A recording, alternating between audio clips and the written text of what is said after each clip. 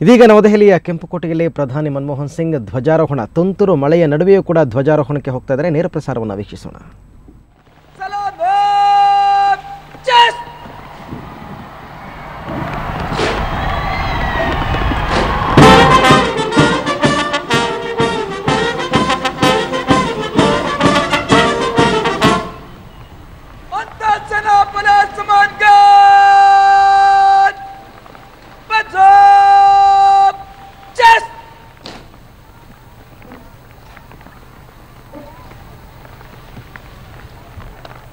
और अब guard commander माननीय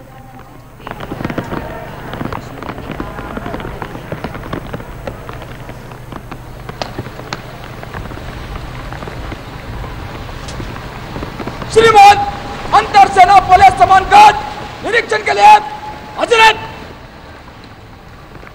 माननीय प्रधानमंत्री सलामी गार्ड अंतर सेना पुलिस सम्मान गारद के commander lieutenant colonel Nindyutla Seshagiri Rao ने प्रधानमंत्री से निरीक्षण का अनुरोध किया।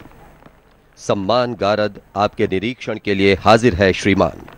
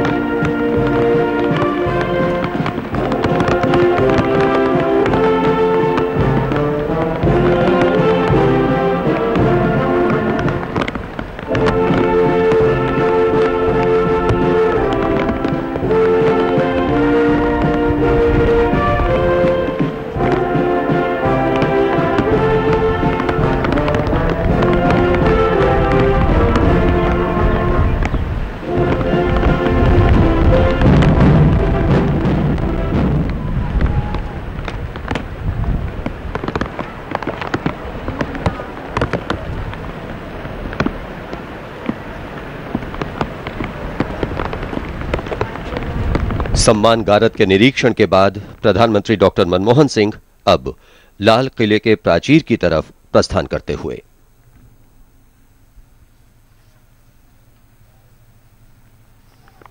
The inspection of the Guard of Honor complete, the Prime Minister makes his way through the Lahore Gate where he will be escorted to the ramparts of the Red Fort. It is here that the flag hoisting will take place, followed by the Prime Minister's address to the nation.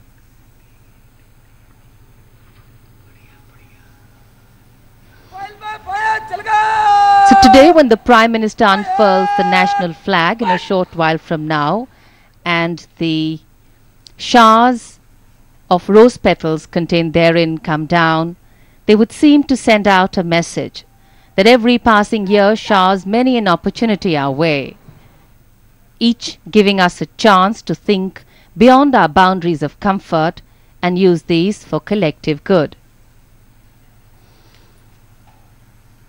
And here on your screens, you can see the Prime Minister being escorted towards the ramparts of the Red Fort.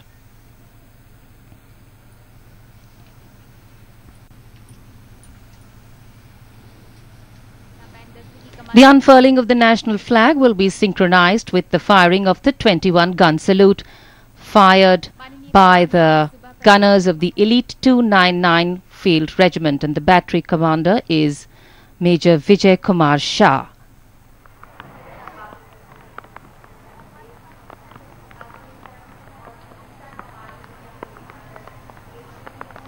Just to give you a little background about the 21 gun salute, historically it is believed that gun salutes are the firing of cannons or arms as a military or naval honor.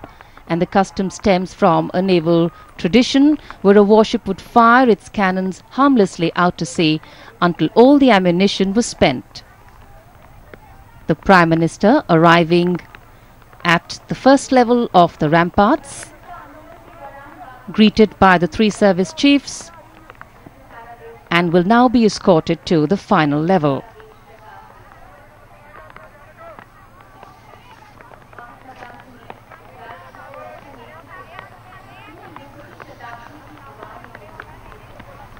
So, in the center of this is the dais, the raised platform from where the Prime Minister will address the nation and hoist the flag, and on either side are the two VIP enclosures.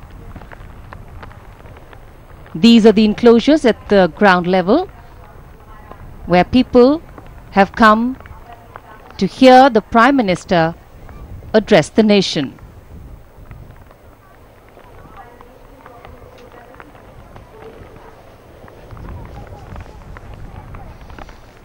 Magnificent and imposing, the Red Fort stands regal, reinforcing the belief that architectural brilliance is more than just design. It's about rhythm, order, balance, and soul.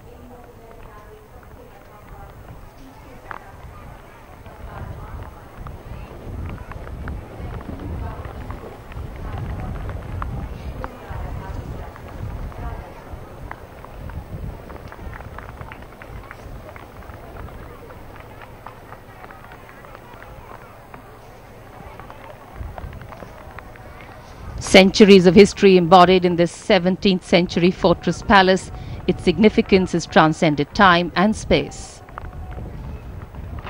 The Prime Minister being escorted to the dais to address the nation and hoist the flag.